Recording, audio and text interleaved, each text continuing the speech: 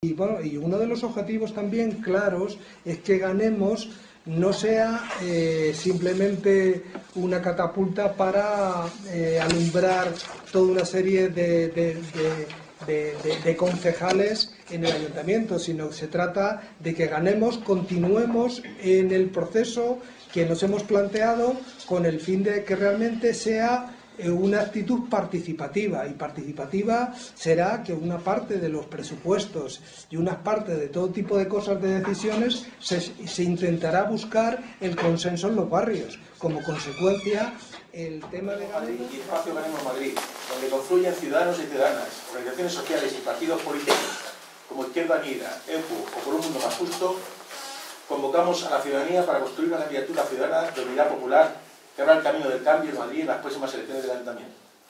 Esta candidatura de Unidad Popular Ciudadana se diferenciará una sola marca, denominación aún por determinar, y en una hoja de ruta común que, aprovechando todo lo ya avanzado en el proceso previo de confluencia, convertirá un mismo programa, un único proceso de primarias ciudadanas abiertas y una estructura orgánica útil a los objetivos fijados y coherentes con la composición de dicha candidatura.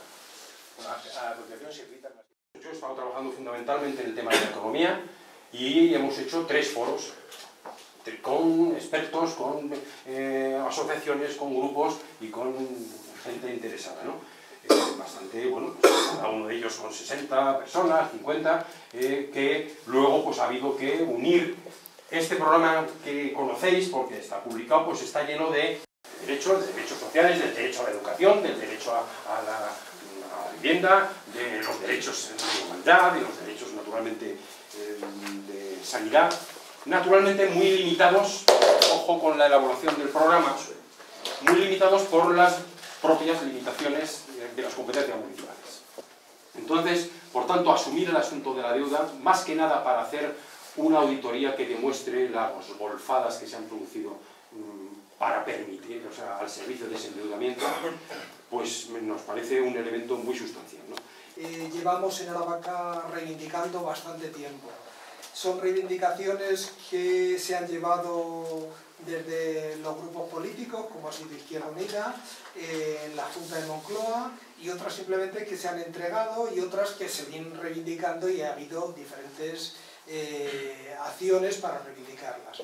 En general están recogidas pues, casi todas, pero no obstante esto es una iniciativa que es simple y llanamente como base y punto de partida porque la elaboración de estas tiene que ser el fruto de todos.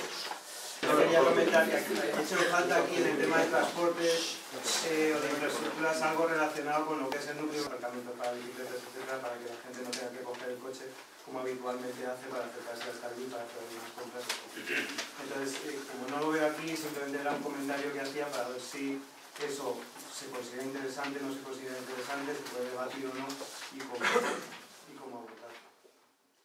Un partido como agrupación, como quieras que se, como quiera que se llame, de este en el que yo creo que, estoy.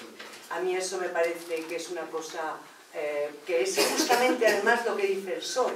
El PSOE en sanidad dice, nosotros vamos a respetar, eh, lo dice a nivel nacional, dice nosotros vamos a respetar las privatizaciones. Y por ejemplo, no sé qué es el impuesto de entrada a garajes, eso no sé qué significa. Si es algo ecológico o al contrario, es algo... Eh, bueno, pues ya